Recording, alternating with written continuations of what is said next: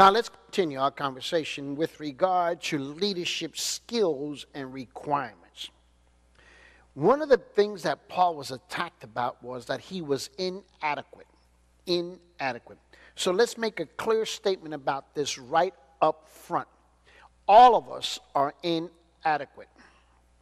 I don't believe that I am adequate. I don't believe that I am perfect. I don't believe that I am the best thing or God's best gift to the church. No. Like you, I have my fears, and like you, I recognize my weaknesses, and like you, I recognize my inadequacies, and I recognize that. And I'm okay with that because I don't have to be perfect. Paul was being attacked because he was not perfect, he was inadequate. This was one of the major thrusts one of the big grenades that they were throwing at him it was that he was inadequate in everything that he did and he was criticized because of his physical appearance because of his speech okay and so forth and so forth and so forth okay? and so i want you to understand then the question becomes who is sufficient for these things who is sufficient? That's the question that's going to have to be answered here. So let's begin to do this in, in, in a way that hopefully will make some sense. Because what we had was with these false people that had come who had come into the congregation, right, um, from somewhere else, and now embedded themselves inside of the congregations in the Corinthian churches, plural? Mm-hmm. And now they were wreaking havoc with their teachings, and one of the ways was to attack the leadership, and that was the life of Paul, especially in his absence. So, if you want to see proof of how important leadership is, don't miss the fact that Satan often aims his most ferocious attacks at key leaders. That's what he does, and he does it well. The concept goes like this if you kill the pastor, you kill the church. If you injure the pastor, you injure the church. If you maim the pastor, you maim the church. If you cripple the pastor, you cripple the church. That's the kind of mentality that goes on. In 1985, in 1986, there was a war that was raging on three countries simultaneously in Central America, in the countries of Nicaragua, El Salvador, and Guatemala. Three major wars were taking place simultaneously there. And along the development of those wars, the guerrillas who were fighting, the so called freedom fighters who were fighting the government soldiers, had made a decision that if you kill the pastors, you can kill the churches. Because the Christian churches were not engaged neither with the freedom fighters or with the government soldiers. They, the churches can clearly see the abuse and the lies and the treachery that was on both, on both sides. So it became a working principle inside of these civil wars that if you would kill the pastor, you can kill the church. You can set the church a running afoot. They were scattered to the four winds. Well, in 1985 86, and I don't recall exactly the date anymore. Uh, I don't remember. Perhaps my wife does. My wife doesn't forget anything. She, I, I, forget everything. She, she doesn't forget anything. But anyway, somewhere in that time period, I went to the country. I was in, I was in the country of El Salvador, and I went to preach in this church. And it's right outside of the capital of the church, and it's about 400 people gathered that night into the church. And as they had gathered there, and it was well attended, it was packed, I was at this particular uh, platform, something very similar like this, and it was a big um, wooden, a big wooden um, pulpit there, and I was teaching and preaching the Word of God. when all of a sudden from the rear of the church which i can see from my point of, my point of view is that you get all of these men come in with hoods over their faces and all of these machine guns and they begin to just blast away it came to the point where and eh, there is now chaos there's panic in the congregation there's 400 people trying to run out and they're running into each other it is just pure panic. They had covered the doorways, they had come in firing. And at this point, the, some of the gunmen turned their, the, turned their weapons toward me at the platform and they began to fire my direction. And I can remember I leaped off the platform. I, re, I remember this, it's, it's, it still plays in my head. And I leaped off the platform and I wound up on the first pew. Uh, that's how far I jumped. Okay? I dove. Okay? And as I turned around, I looked back and I could see the pulpit exploded like Swiss cheese. And the screaming and the gunfire was so loud. And then it stopped. And the guerrillas were screaming, you know, for everybody to be quiet.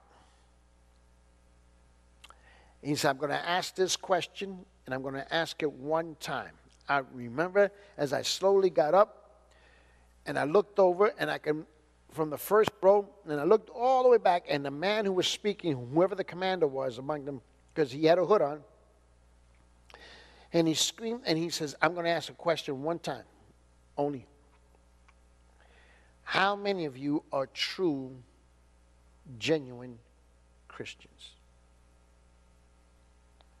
Well, I raised my hand.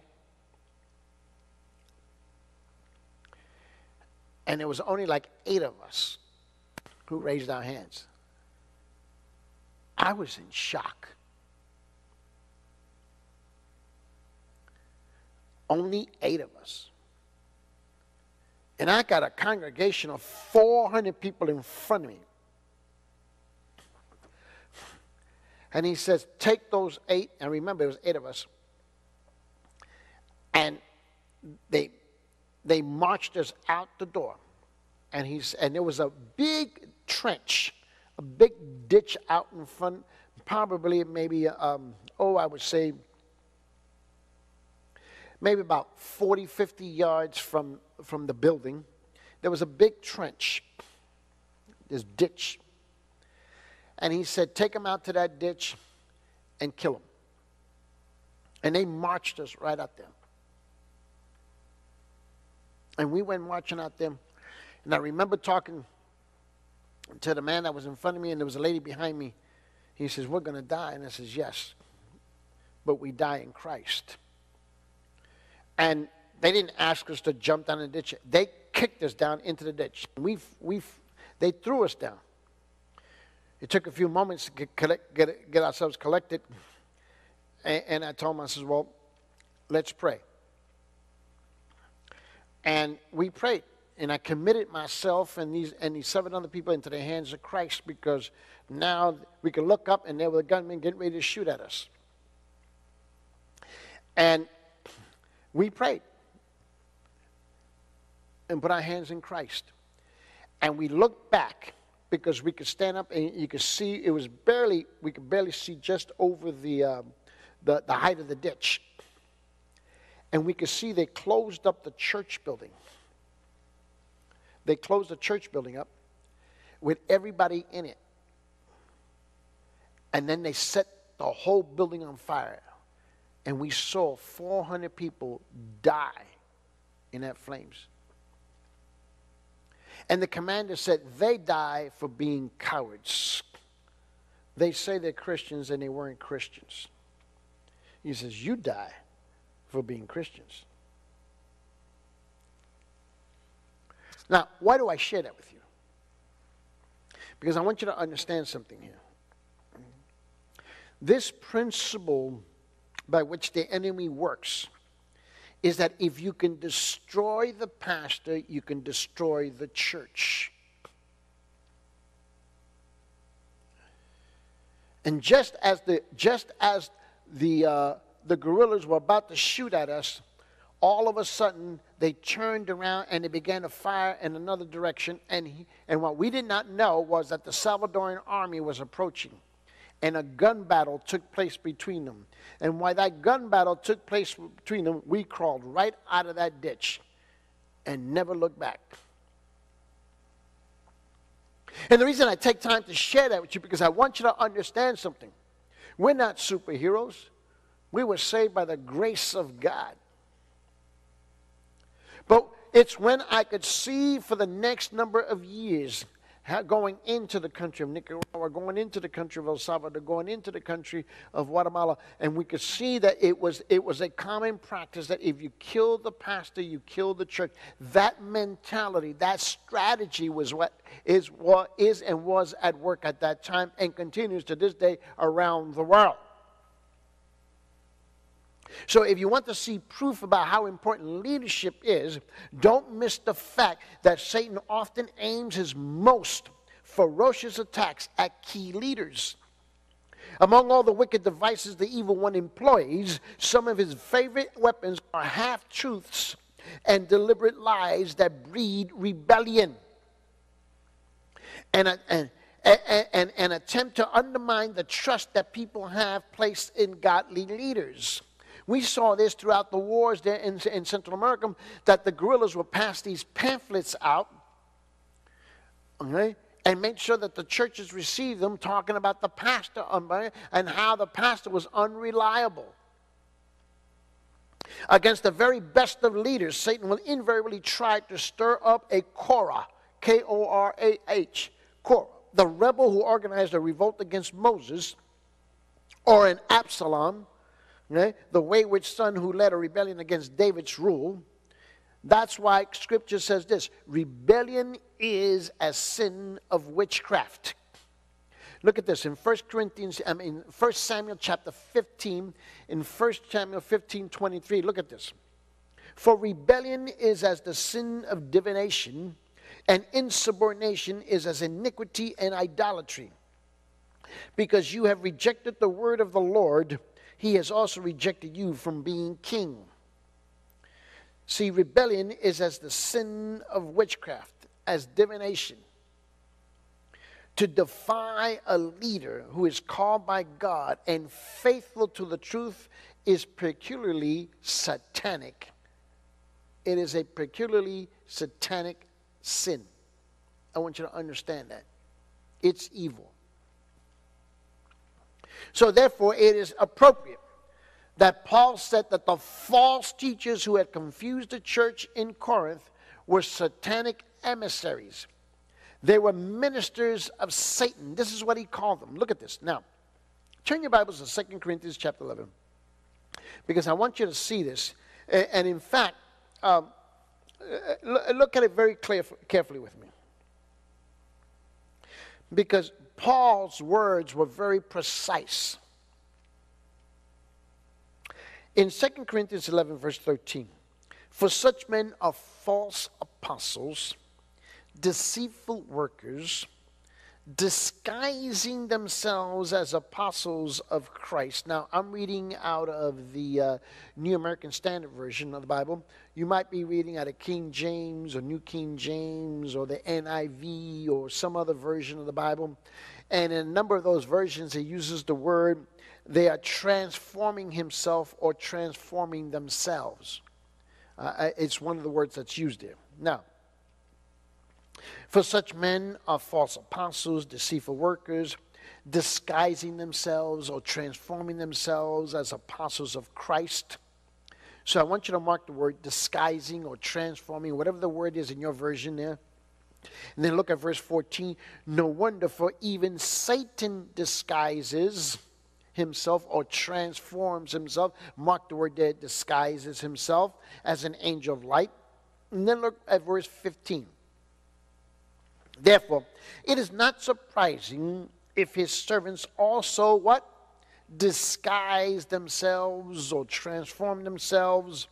And mark the word there.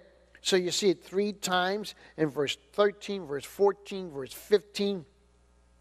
Uh, them, uh, disguising themselves as servants of righteousness whose end will be according to their deeds. Now, And, and, and I'm recalling what this word means here. Um, when you see that word disguising or disguises or disguise, it doesn't matter, transforming, transformed, or been transformed, okay? Uh, that, the word, the Greek word that's used there is a very specific word there, okay? And it's the word metaschem, metaschematizo, metaschematizo. And, and it's a Greek word, metaschematizo, okay? It's M-E-T-A-S-C-H uh, E-M-A-T-Z-O. And that word, metaschematizo, okay, and it comes from two different words, okay? Meta is one, okay? Uh, schema is another word, and you put them together, okay? And, and what it means, this word, it means to transfigure, okay? Or it means to disguise, okay? And I, I want you to know to transform. Now, and, and the way the word is used, okay, um, typically, this is how, in the New Testament, the way this specific word is used here, it means that they were masquerading, masquerading as apostles of Christ. How? By putting on an outward um, um, habiliments or clothing, okay, um, posing as ministers of Christ, or what's called as the gentlemen of the cloth, okay and the word is always used in terms of deceit. So they were masquerading, they were pretending to be something. And Paul is identifying these people in the congregation. Listen to me carefully. That's the reason why. Listen to me very carefully, Pastor. You need to protect your pulpit very at all costs. Do you hear what I'm saying to you? We are too lax with the pulpit. We allow every Tom, Dick, and Harry to come in and preach some nonsense message and confuse your people. There are way too many people who disguise themselves as something that they are not. And I have a lot of experience in this area for all of us here in the United States of America, where we're housed, we have all these preachers that come from all over the world. And here in Los Angeles, California, where I am, they come in every week off of the air, right off the airport. We're not that far from the airport. Hmm. We're only about four miles from the airport, not even that. And people, they just pour in, and they always call me on the telephone from the airport. God gave me a word for your congregation. When can I come? Whoa, whoa, whoa, wait a minute. Time out. Who are you? We get that weekly here. And then, for all of you in, in uh, around the world, whether you're in the Philippines or you're in Asia, uh, all of you in Latin America, all of you in Africa and in Europe, and you got all these American preachers going over into your churches, and you just open the door just because he happens to be an American. Stop that. You need to sift out, weigh out who are these people. And the only reason why you open the door to them is because they usually come with money. You should be ashamed of that. Many of these people, they're not there for good reasons. They've come disguising themselves. That is exactly what they were. They were tools of the devil evil agents in his campaign against the cause of truth. These people are looking to buy you so they can claim they have a ministry that they have not earned, they've purchased. They had deliberately focused their main offensive against Paul and his leadership. It was a, it was a strategic, well placed assault because it, if the powers of darkness could nullify Paul's influence in Corinth, that already troubled church would be completely at the mercy of all of the false apostles, and they, it would have fallen just hook, line, and sinker right into their hands. Paul was not eager to defend himself personally, but neither was he willing to abandon the Corinthian church to the wolves. So he had to make a decision here. So he spent a considerable amount of time in Second Corinthians doing something he found dis- completely distasteful defending his own character and credentials. Now he had to do this not because he was looking for his good name, but because what motivated that was that he had to protect the church that was under attack. Paul's competency as a leader and an apostle was under direct attack by all of these false teachers. and we've already seen how this how his sincerity was being questioned. Remember that? The false teachers were also trying to provoke doubts about his adequacy to lead. they attacked his character, they attacked his influence, they attacked his calling, and they attacked his humility. See those four things? when the enemy really wants to try to get, get at you, well, here's, here's how the, this is usually the pattern that it works out. Listen to me carefully, Pastor. Somebody will attack your character. Okay? They're going to attack your influence. They're going to attack your calling. And then they're going to attack your humility. And it's a very well placed strategic plan. And it works. That's usually the order that they do it in. Okay? It's usually the order in which Satan does it in. Okay? And so you need to be very, very careful with this. Mm-hmm. Paul, see, you don't have to understand that Paul understood that. See, in other words, what they were saying that they claimed that Paul was not qualified to lead. That was their claim. He was not qualified to lead. He was inadequately, and this is what they said about him, okay? And they, and they repeated this charge over and over and over again. That's the reason why we started out and we said this at this session. We said, Who is sufficient for this? Who is adequate for this? Well, let's be very honest. Not one of us is qualified. let's be very clear about that. Uh, if we, can, uh, if we can get that as an understanding, it's God who qualifies us. We don't come qualified, He qualifies us when He calls us. Why? Because He calls us based on character, based on His call upon our lives, our influence, and our humility. That's what He's, he's going to use those four avenues, if I can say that, to build up our qualification. But you don't come pre qualified, right? He is the one who qualifies.